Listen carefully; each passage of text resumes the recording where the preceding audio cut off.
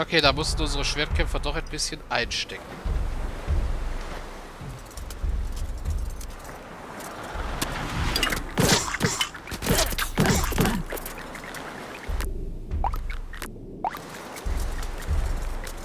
Dann gebt ihr eben halt Unterstützung jetzt erst einmal.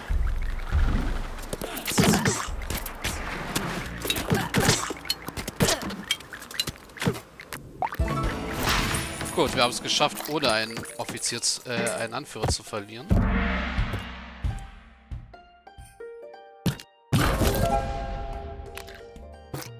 Und haben einen Gegenstand gewonnen.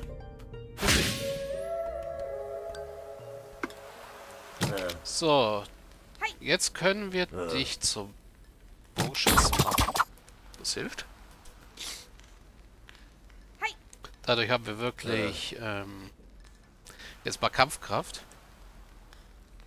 Oh, die Pearl Twice Pattern. Äh. Äh, ja. Wir müssen uns halt entscheiden. Wir können den Gegenstand jetzt nämlich nicht mehr rausnehmen. Äh. So. Wir wollen den Commander hier auf jeden also den Anführer hier auf jeden Fall haben. Äh, ups. Nee, das ist mir zu heiß, um es mit zwei zu machen. Deswegen tue ich die Turn beenden. Und dann holen wir uns jetzt den Commander hier unten. Genau, Local Commander Randolph. Und deployen mal.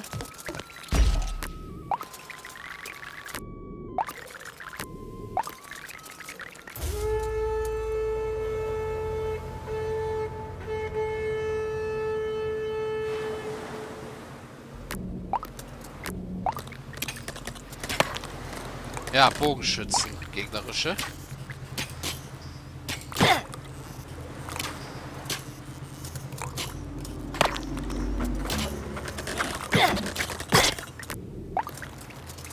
Da ist es gut, dass wir Schildtruppen geholt haben.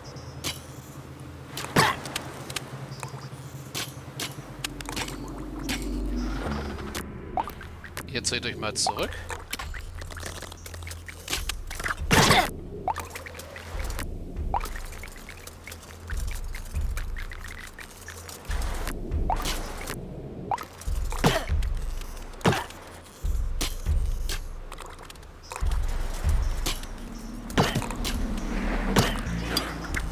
Genau, so können wir eigentlich ziemlich gut die gegnerischen Truppen schon dezimieren, bevor sie überhaupt landen können.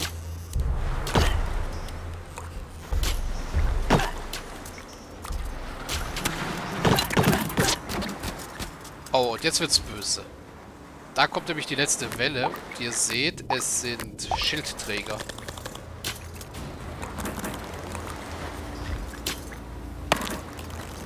Ja, Schildträger sind aus einem ganz anderen Holz als andere Truppen.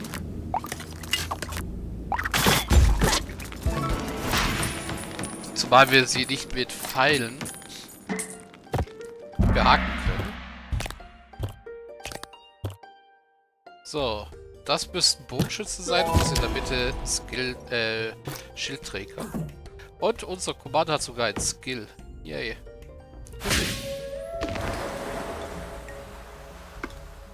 So, den können wir auch gleich upgraden.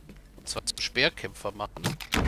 Damit haben wir, damit haben wir jetzt eine ausgewogene Truppe. Mit der wir auch besser vorankommen.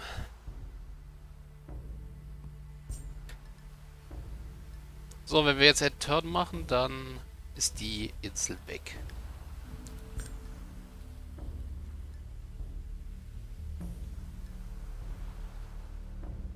Ja, das heißt, wir können die Insel einnehmen.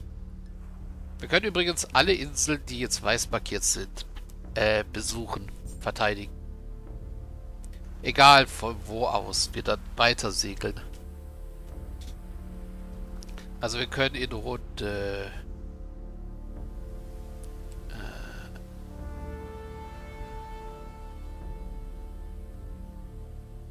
Ja, okay, das hier ist unpraktisch. Wir müssen ein bisschen aufpassen auf die Linien hier nämlich. In der nächsten Runde wird das hier annektiert. Dann können wir eine von denen angreifen. Dann wird das hier annektiert und wir können nur eine von denen angreifen. Da wird das hier annektiert und wir können dann eigentlich nur noch, sollten wir weiter. Mhm. Und ja, nehmen am besten erst diese Insel hier. Die wird, glaube ich, ja von Speer äh, Schildträgern angegriffen, ne? was okay ist. Und wir haben vergessen, die Runde zu beenden.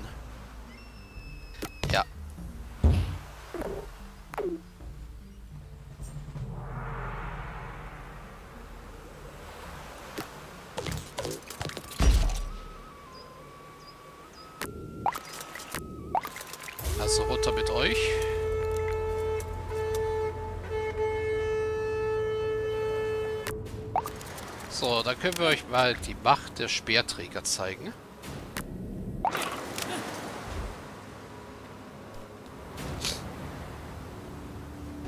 Speerträger sind nicht für starken Open Combat geeignet, nur für sowas. Genau, um Wege zu blockieren. Aber da drin sind sie verdammt gut. Während unsere Bogenschützen hier gar nichts machen können, leider.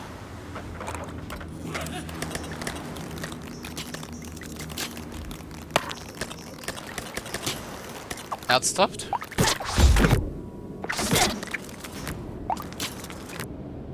Okay, das habe ich jetzt nicht kommen sehen, dass sie hier hinten durch können. Das heißt, wir blockieren den Engpass hier auch am besten. So am besten. Ja, weil wenn Speerträger sich bewegen müssen, dann sind sie ziemlich machtlos. Wenn Speerträger jedoch stehen bleiben, sind sie unbesiegbar. Jedenfalls gegen Nahkämpfer.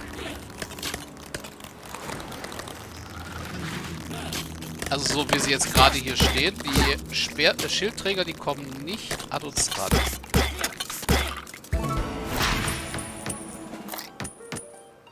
Ja, so konnten wir mit minimalen Verlusten gewinnen.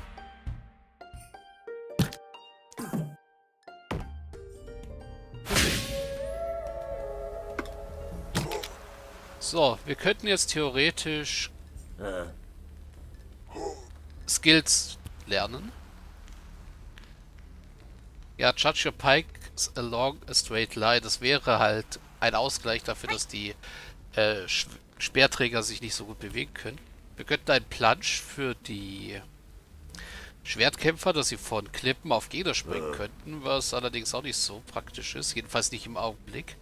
Und der äh, Volley habe ich nie eine Ahnung, ob das nicht auch unsere eigenen trifft. Wenn nicht, dann könnte man das benutzen, um mit den äh, Speerträgern einen, einen Durchgang zu blockieren, während die Archer halt auf die Gegner feuern. Aber ja, im Augenblick will ich die Münzen lieber aufheben, um meine Archers zu verbessern, damit die besser treffen können. Gut, das heißt, wir nehmen als nächstes diese Insel hier, was wir wieder nicht können. Weil wir erst die Runde beenden müssen. Also es ist nett, dass wir immer uns angucken können. Was so auf der Insel auf uns wartet.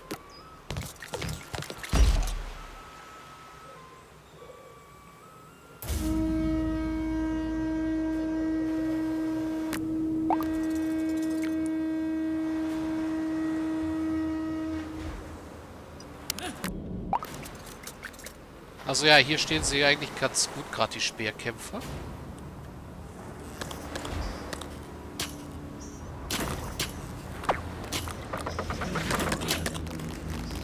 Jedenfalls für den gegnerischen Trupp, der uns veralbert.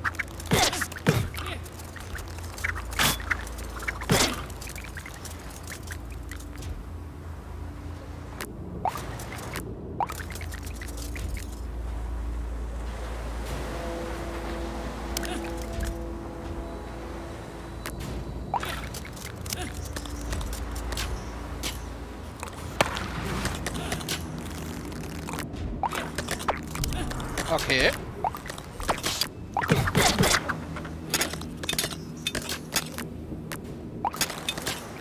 Hier sind manchmal schlauer als man denkt.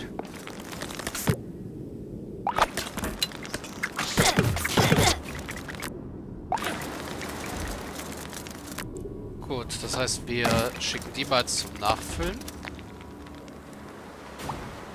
Die können nicht anders, die müssen hier hoch.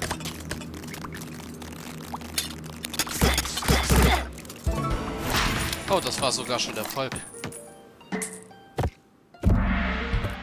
Yo, Victory.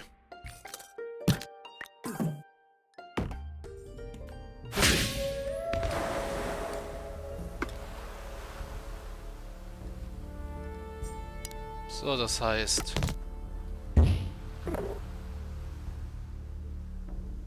Ja, eigentlich hätten wir, müssten wir jetzt wirklich straight forward gehen.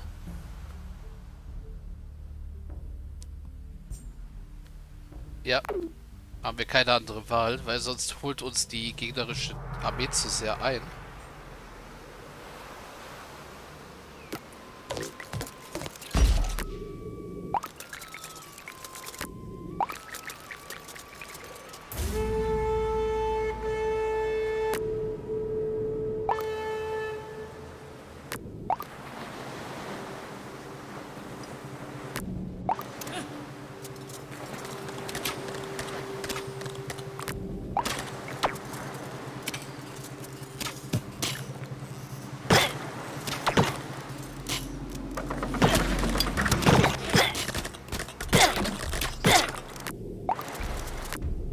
So, hier haben wir Glück.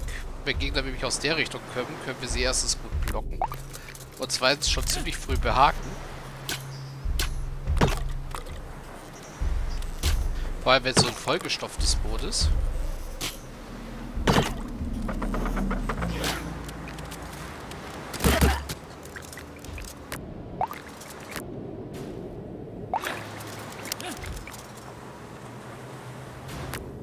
Nein, ihr geht lieber da wieder hin und blockt die ab.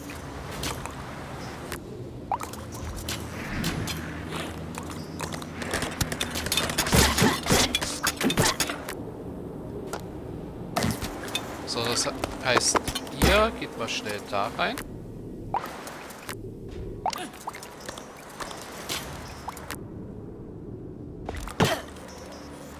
Das könnte knapp werden.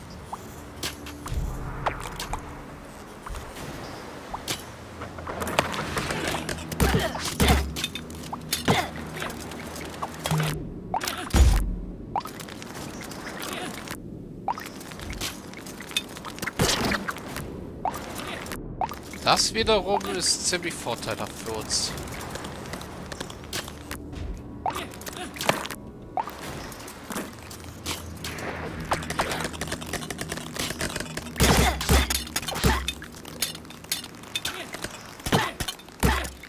Oh, weil wie gesagt, gegen so, äh, so eine Übermacht hat keine Chance, selbst so eine Übermacht hat keine Chance gegen Speerträger auf so einer ähm, auf so einem Engpass. Hey, Warhammer. Den kenne ich ja doch gar nicht. So. Was macht der?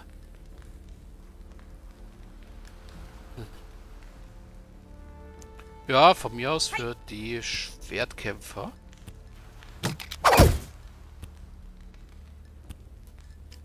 Äh. Äh. Euch grade ich mal zu Veteranen ab. So. Dann gucken wir mal, welche Insel nehmen wir als nächstes.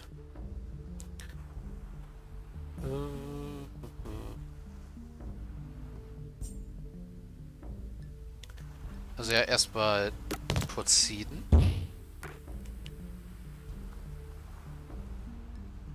Am ehesten die hier, die können wir ziemlich gut verteidigen. Da auch nur Schildträger kommen.